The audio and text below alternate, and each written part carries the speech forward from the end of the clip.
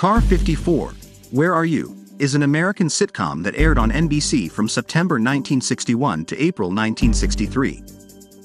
Filmed in black and white, the series starred Joe E. Ross as Gunther Toody and Fred Gwynne as Francis Muldoon, two mismatched New York City police officers who patrol the fictional 53rd Precinct in the Bronx.